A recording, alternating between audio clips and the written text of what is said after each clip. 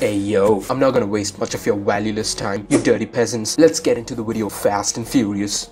Firstly, go to start and type in check for updates. Make sure you're updated. This is the most important thing. We go to the next step. You're going to open up your Steam, right click your CSGO, click on properties and then paste the launch options, which I've given it in the description. Close it and let's go to the next step. Now for the next step, open up Steam, click on Steam, click on settings. Once you're here, click on interface and then make sure you disable all these settings. Click on library and then make sure you copy all my settings. Click on in-game and then make sure you disable these four settings and then disable these three settings over here. Once you're done with this you can close this and then restart your steam. And then once you're done with that make sure you open up your notepad and then paste the steam commands which i've given it in the description. Click on file click on save as and then make sure you save it as steam.bat in your steam folder. Click on save. The next thing you want to do right click your csgo click on browse local files and then once you're here click on steam and then scroll down till you find steam.bat right click send to desktop. And then once you're here rename this as steam. Right click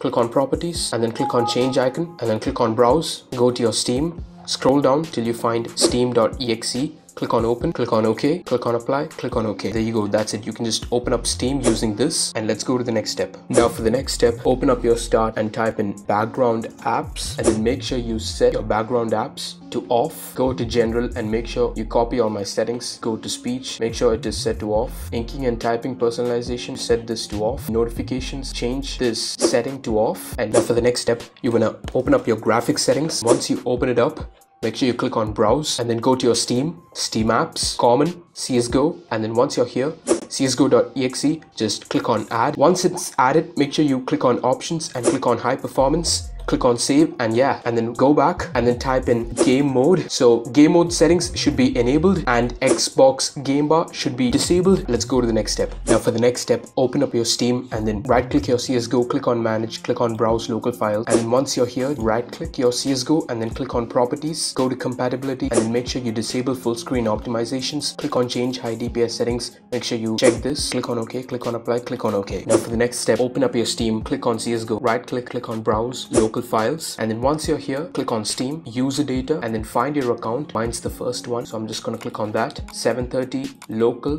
cfg and then once you're here make sure you paste the two auto exec files which i've given it in the description. Paste them over here these two files. Let's go to the next step. Now for the next step open up your csgo go to your video settings and copy all my settings. Aspect ratio 4 to 3 resolution i use 800 into 600 display mode full screen. Laptop power savings disabled. And then make sure you copy all my settings. Boost player contrast make it disabled you can get more fps click on apply changes and let's go to the next step. Now for the next step i've given you some fps boost commands in the description. Open up your csgo open up your console and then type in these commands.